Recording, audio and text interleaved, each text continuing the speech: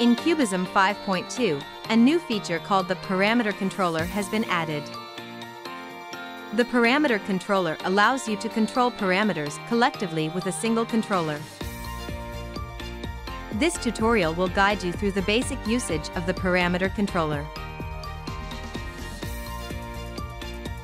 In this session, we will explain how to set up the controller.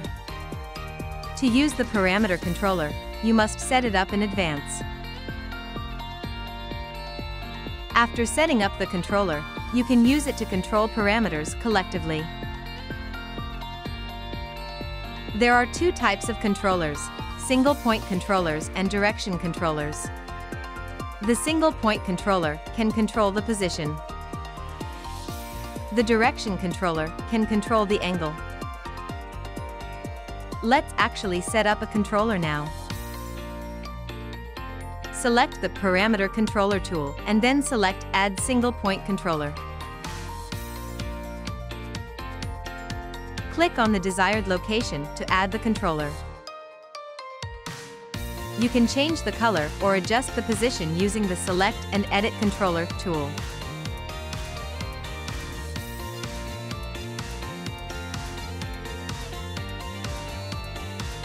Controllers have a settings field where you can select the parameters you want to move.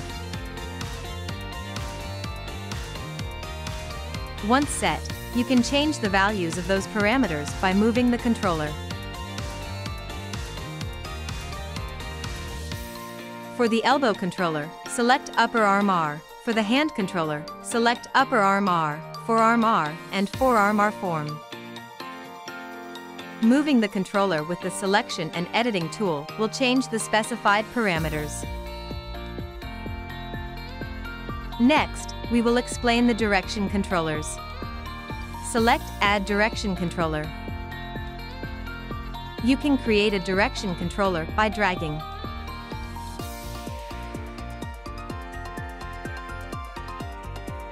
From the animation menu, you can reverse the direction of the direction controller or convert it to two single-point controllers. This completes the setup of the controllers. In the next session, we will explain Target Follow, which allows the controller to follow a target automatically.